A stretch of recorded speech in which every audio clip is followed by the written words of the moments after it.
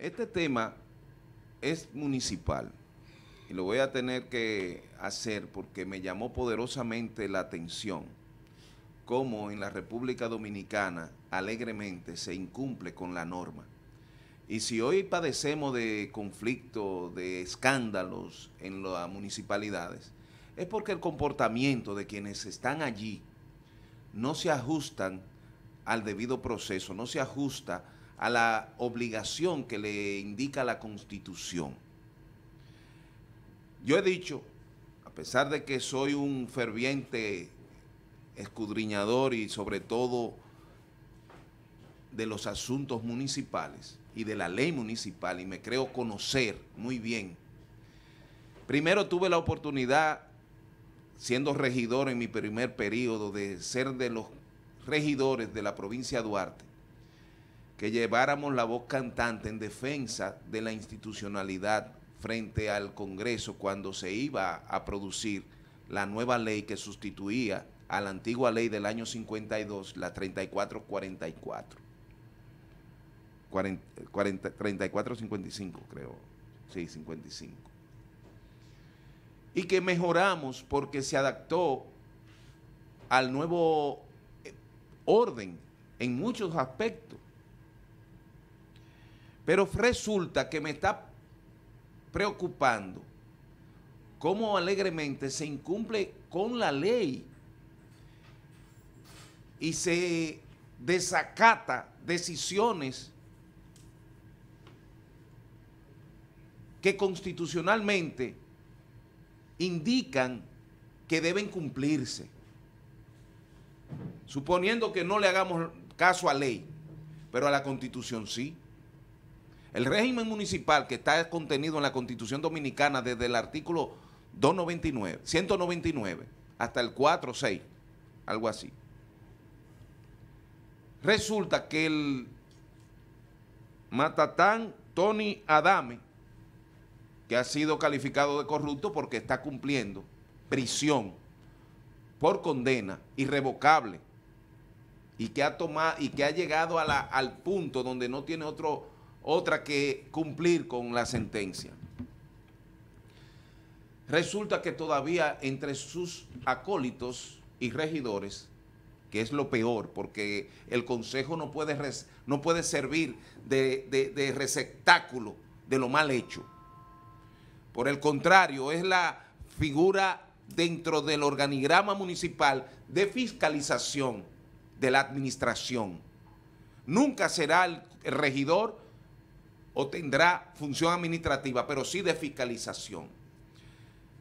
Y tiene mecanismo de fiscalizar directo por su propia cuenta o por a través de, como indica la ley, a través de los informes y revisiones que hace la Contraloría Municipal, que el Contralor no es un funcionario de la alcaldía.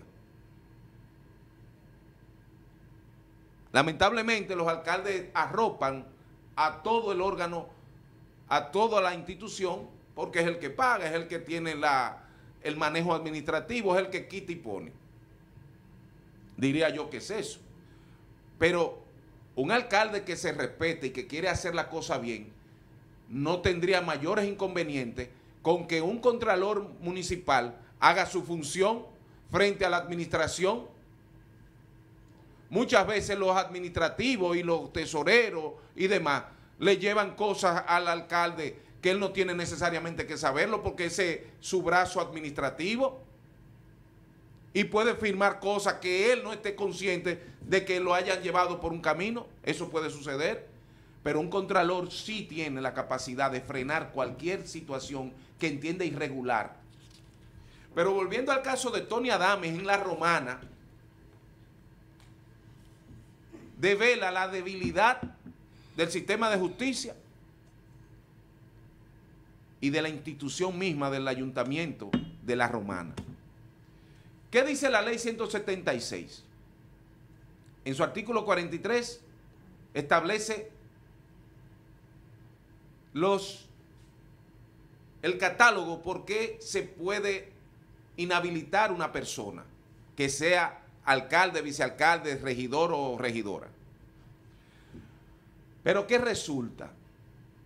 Que desde que empezó el momento cumbre de la justicia, cuando se le indicó que fue detenido Adames y se le dictó auto de apertura a juicio, debió de estar suspendido por el Consejo de Regidores. Eso nunca sucedió. Punto cero para el Consejo. Está implicado en la trama de obstrucción de justicia, de complicidad, yo diría, y sobre todo, le falta a su investidura para la función que le fue encomendada por indicación popular y que hizo juramento. Entonces, el artículo 44 es la vía principal que debió de tener hace tiempo suspendido al alcalde. No lo hicieron. Son cómplices y ahí yo concreto mi concepto que a veces defino al ayuntamiento como receptáculos o institución para la solución de salario de militancias políticas y no que son el gobierno de la, de la municipalidad, que es lo correcto. Por eso se trata a los ayuntamientos como lo tratan. Porque hay un grupo de, de descerebrados que llegan a los cargos y que llegan a ser electos, que luego se convierten en pandilla. Para mí es una pandilla del alcalde. Cuando asumen y respetar su propia ley orgánica, la constitución, porque este señor ha debido de estar destituido, porque es la condición que dice el 43, que se pierde esa condición por condena, por muerte, por inhabilitación mental, ¿verdad? Física. Y por sentencia de un tribunal con todo el peso de la Constitución Dominicana. Al punto que hoy Adames tiene también, aparte el Consejo tiene una sentencia que le obliga ya no a suspender, sino a destituirlo. Pero la suspensión vale igual, porque lo dice claramente y ojo,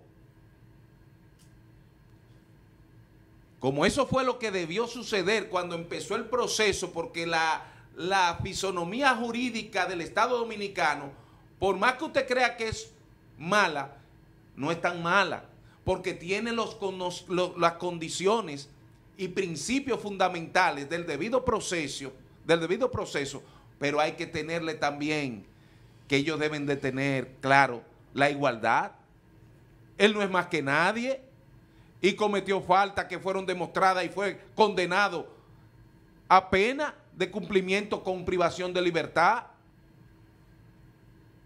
¿Cómo vamos a arreglar este país? ¿Y cómo se quejan que Ramfi esté aprovechando esas debilidades que todavía nosotros teniendo la ley creemos que es verdad que es un pedazo de papel? El Consejo de Regidores de la Romana no tiene otra cosa.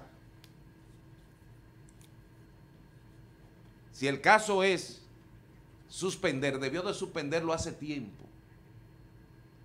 Ahora lo que llega es la destitución.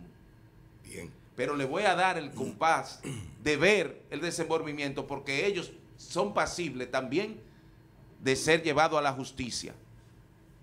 Por acción o por omisión y sobre todo por incumplimiento constitucional y legal de la función para la cual ellos fueron elegidos. Bien. Adam está preso.